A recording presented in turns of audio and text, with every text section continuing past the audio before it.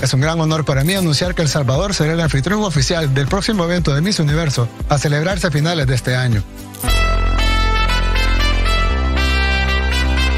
El Salvador es un país lleno de belleza. Tiene las mejores playas del mundo para surfear, imponentes volcanes, exquisito café y ahora se ha convertido en el país más seguro de América Latina. Queremos agradecer a la organización de Miss Universo por acompañarnos en este proceso histórico. El Salvador está cambiando y queremos que vengan a vivirlo.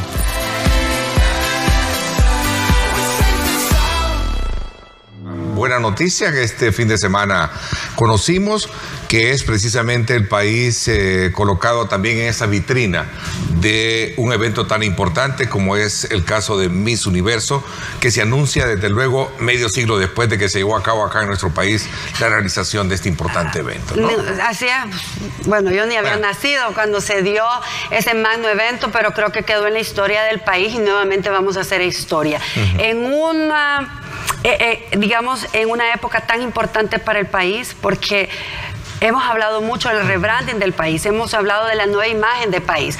Ya no nos están asociando con el conflicto armado, ya no nos están asociando con eh, los homicidios, ya no nos están asociando con lo malo si tú te metes al buscador de Google, te van a aparecer muchas de las preguntas que se hacen a nivel internacional. Quieren conocer más del presidente Nayib Bukele, quieren conocer cuál es la capital de San Salvador, quieren conocer cuál es nuestra moneda de curso legal, quieren conocer cuál es nuestra comida típica, quieren conocer cómo poder viajar a El Salvador. Tú sabes que el año pasado El Salvador fue uno de los destinos principales en turismo y, necesitamos por eso más habitaciones y ahora con, la, con el gran anuncio que se da de que vamos a ser sede del Miss Universo, eso nuevamente nos pone en, como país, en un país de referencia en Latinoamérica, porque no lo pudo hacer Costa Rica, no lo pudo hacer México, Colombia u otra nación como Brasil, lo está haciendo El Salvador.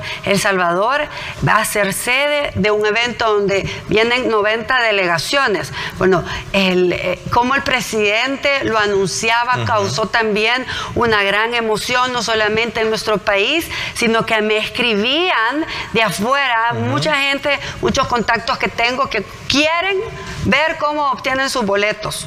Por eso yo decía, las reservaciones en hoteles, los pasajes de avión, eh, los tickets de entrada, hay que empezar a ver toda la logística porque sin duda que vamos a tener un gran flujo de, de, migración, ¿verdad? en el sentido de turismo, porque es importante que, que El Salvador va a tener la capacidad de hacer este evento. Tú sabes que en el proceso de firmar, en el proceso de llegar a un acuerdo para poder ser sede, te piden muchos requisitos y El Salvador los cumple.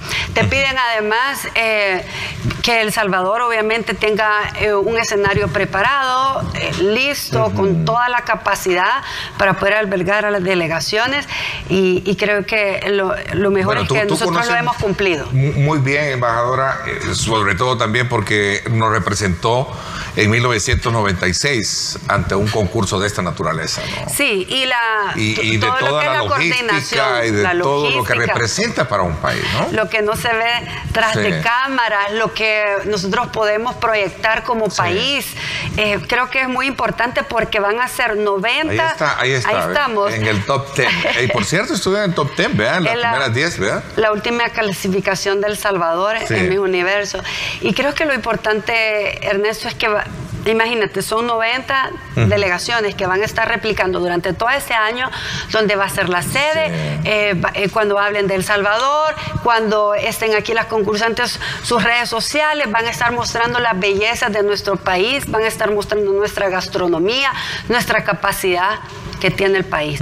Y esto es importante, este anuncio viene eh, a principios de año y toda la logística que conlleva montar una mesa de trabajo para, poder con, las exigencias que da un evento tan magno, tan grande, tan prestigioso en esta categoría. El Salvador ya ¿Está fue programado para cuándo? Está programado para, sería dentro de un año también. Fíjate que puede ser incluso finales de este año. O sea, se, se, se programa en la siguiente edición y, vienen las negociaciones en cuanto ya el primero de marzo es eh, el día en donde ya se tiene que tener ya confirmadísimo el lugar que sí. El lugar donde se va a hacer. Ya vino una primera delegación de Mes Universo a ver una posible eh, infraestructura que ya un tenemos. Scouting, una exploración de los lugares. Cuáles son como los cambios que se le deben de hacer, pero ya, ya vino el primer scouting de Miss Universo y de aquí para allá tenemos que ver todo el, resto de logística, pero creo que, eh, porque son varios eventos el evento donde se, se presentan las candidatas, alfombra roja, eh, va a haber eh, las preliminares, el evento en traje típico, eh, el traje de baño, más una, se da una subasta también de beneficencia y la noche final. Es decir, es una serie de eventos donde todos van a tener la oportunidad de, poder ingresar, generalmente es con tickets, pero lo, lo imagínate que estamos viendo las del recuerdo, de, recuerdo. del 75, miren este... En el 75 que se dio en el Gimnasio Nacional y albergamos y realmente fue todo un éxito. Y ese fue, el, digamos, el, escenario fue en alusión precisamente a, las ruinas eh, nuestras, ¿no? Ahí estaba el coronel... cultura maya. Sí, el coronel eh, Arturo Armando Molina, ¿verdad? Ahí Carmen Figueroa, creo que era la que nos representó en ese entonces, ¿no? Así es, ella fue la representante de El Salvador en esa ocasión. Y lo que te pide Miss Universo es una capacidad para 6 mil personas. Es lo mínimo. Es lo mínimo que nosotros tenemos capacidad para, para poder albergar a mucha más gente. Entonces, lo mínimo que te piden es un, un escenario, un lugar donde quepan 6 mil personas, pero si, si caben más es mejor.